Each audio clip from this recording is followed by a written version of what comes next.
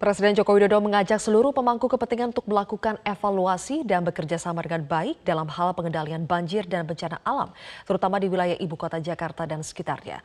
Dalam rapat ini, Presiden mengundang enam kepala daerah termasuk Gubernur DKI Jakarta Anies Baswedan, Gubernur Jawa Barat Ridwan Kamil, dan Gubernur Banten Wahidin Halim.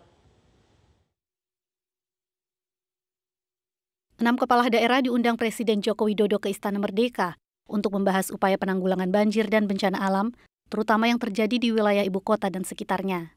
Keenam kepala daerah yang diundang Presiden yakni ya. Gubernur DKI Jakarta Anies Baswedan, Gubernur Jawa Barat Ridwan Kamil, Gubernur Banten Wahidin Halim, Wali Kota Bekasi Rahmat Effendi, Bupati Bogor Ade Yasin, dan Bupati Lebak Iti Oktavia Jayabaya.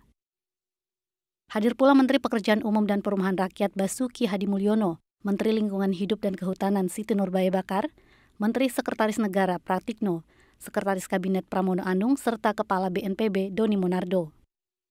Dalam rapat ini, Presiden Joko Widodo mengajak seluruh pemangku kepentingan, yakni kementerian dan lembaga terkait, serta para kepala daerah untuk melakukan evaluasi, serta menguatkan kerjasama dalam pengendalian banjir dan bencana alam. Saya mengajak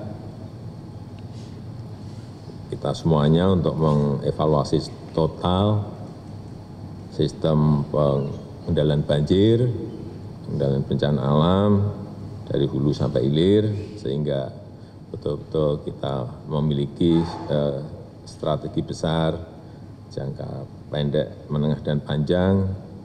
Yang saya tahu master plan ini juga sudah sudah ada tetapi saya kira implementasi perlu lebih detail lagi kerjasama antara eh, pemerintah pusat, pemerintah provinsi, pemerintah kabupaten dan kota.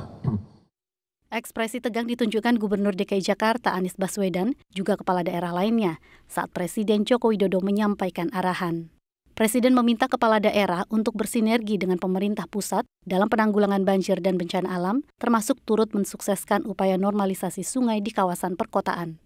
Kepada Anies Baswedan juga kepala daerah lainnya, Jokowi meminta agar membantu merelokasi warga yang tinggal di bantaran sungai, termasuk di pinggiran Sungai Ciliwung, agar program normalisasi sungai yang digulirkan Kementerian Pekerjaan Umum dan Perumahan Rakyat bisa berjalan lancar. Jokowi menyebut perlu banyak pembenahan yang perlu dilakukan, baik di wilayah hulu maupun di wilayah hilir, untuk mengurangi potensi banjir yang terjadi setiap tahunnya di wilayah ibu kota Jakarta dan sekitarnya. Tim Liputan Metro TV.